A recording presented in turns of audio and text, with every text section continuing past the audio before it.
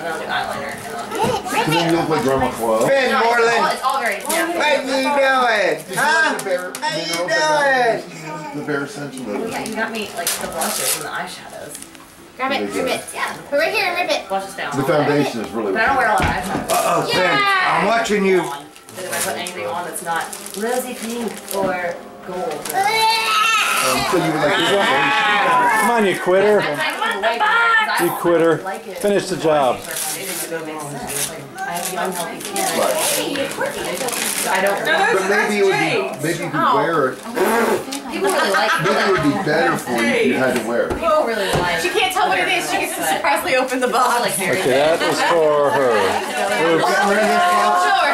Very dramatic. You, have, you must have one in New Orleans. Yeah, we have.